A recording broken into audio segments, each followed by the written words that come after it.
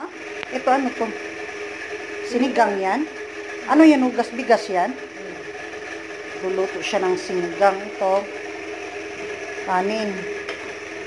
Tingnan mo. Mga diet daw sila kasi konti lang. sinigang na baboy? Ay, ang sarap. Ayan, oh, may baboy. Nakabili sila ng baboy. Hmm. Ito yung aking ito. Mm. Ayaw niyang umaraw. Ayan, nagsisinigang siya. Ayan.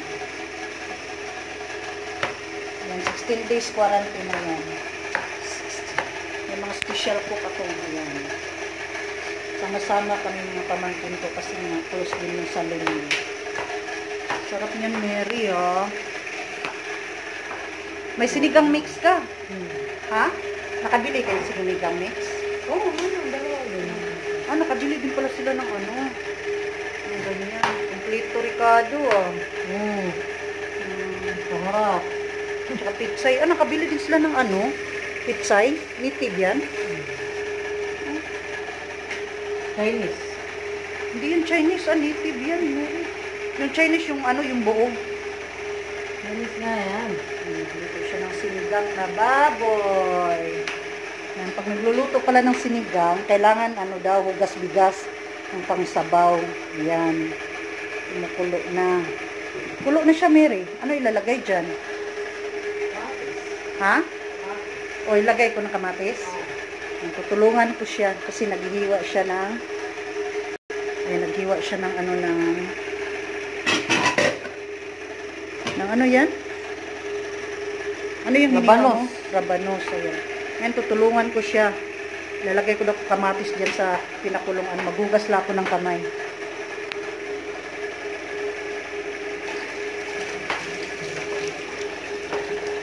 Kasi kakamayin ko lang yung kamatis.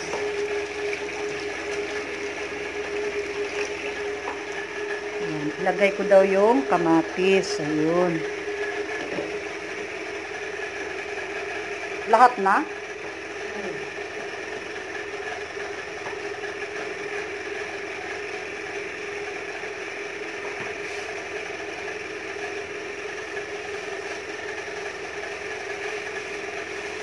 Ito yung mga spices ng sinigang na baboy. Ayan. Katapos, takpan ko muna. Takpan ko daw ulit. Hindi sasabay yung sibuyas? Diyan? Ah, mamaya pa pala daw. Hmm. Kailangan pakuluan daw muna yung kamatis. Bisaya, ano to recipe? Hmm, nakabili sila ng baboy sa QDC nila nabili yan, Jim. Baboy.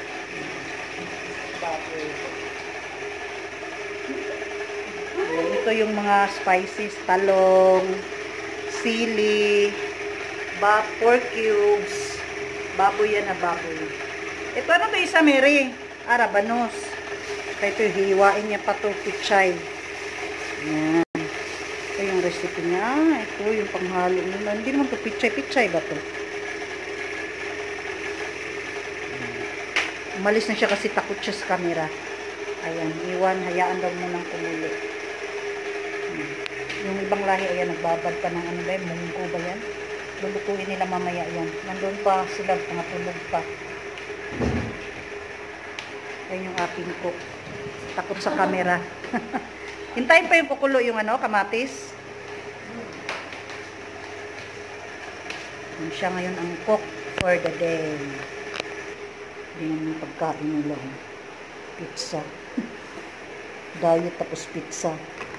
Ito isa. Biscuit.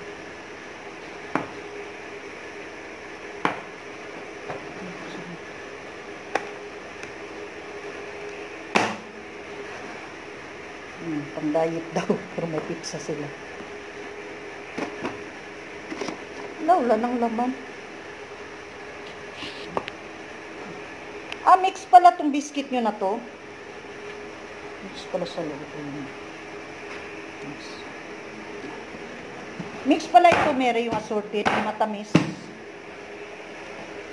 Gusto ang pinagpinang.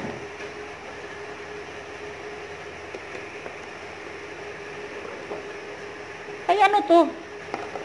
Tortang ano? Kanino tong torta, Jen? Ha? Sa atin din yan. Ang dami yung ulam ah. Ah, tinurta mo. Ano ba pa dito? Tuna. Kaya nga, masasayang lang. Mm. Buya. Ilunod. Ibig sabihin ilagay yung sibuyas, ilunod sa Bisaya. Lunod. Mm. Tapos, Pakuron ulit. Tuluan ulit. Tuluan daw. Ito sa ibang kasamahan din namin. Lumpia. Kanino tong lumpia? Ah, kila Ate Banji mo siguro yan. Ayan. Sa ibang kasamahan din namin. Pinadipros lang nila sandali. Saan natin kung anong ginagawa na Anong ginagawa nyo dyan? oh, kita na naman yung iyong ano, oh. Pagkatapos nila namili. Maganda yung nabili yung gulay, no? Pero, pero meron dyan ta, bilihan ng gulay dyan sa ano ha, malapit sa ano, Carrefour. Ang kabilang site, puro ano yan eh, gulay yan tsaka prutasan, pang wholesale. Food court. Hindi food court, sa Carrefour, tapos dito, dito sa kabila sa tawid. Dito pagpasok natin pag naglalakad tayo. Di ba naglalakad tayo, tatawid tayo, bago tayo tatawid, meron ditong side na nakatent, puro rin gulay at saka vegetable. Wala, Rawabi kami. Ah, rawabi kay galing? Ah, kaya pala nakabili kayo ng ano. Anong araw ba ngayon? Merkulis? Nakatutok tita. Ha? Merkulis? Ah, wala ngayon. Ayun pa niyan. ligo. Asan na si Paulina? Ay, Paulina, anong ginagawa mo dyan? Yung cook mo doon, nagluluto na, oh. Ay! Ayun yung kapakita yung kanyang mukha. Guguluhin ko sila kasi nga, ayun lang harap yung mukha nila sa camera. Takot sila, takot. Alis na nga lang ako.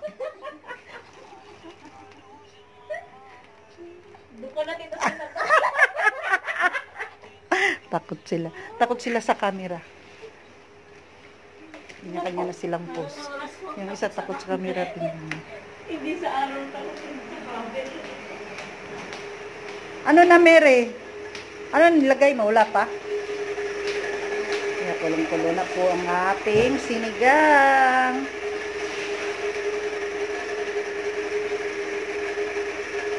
Kailangan kulong-kulo? Ay, papahuli mo pala yung baboy. Ito. Karon isunod, ana?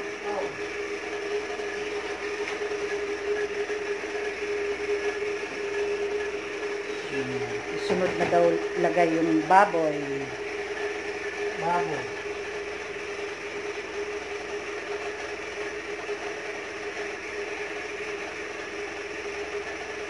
Ba yung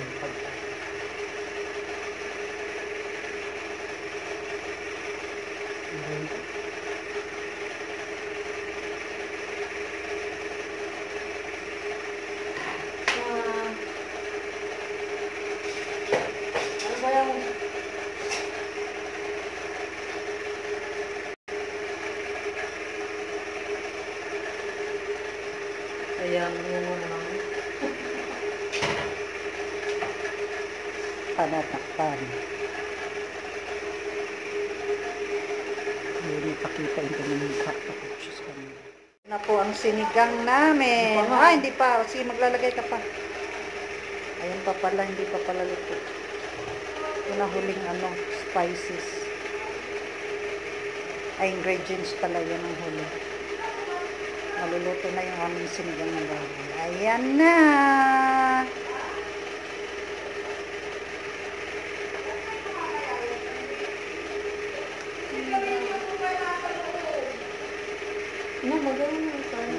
Na po, dami.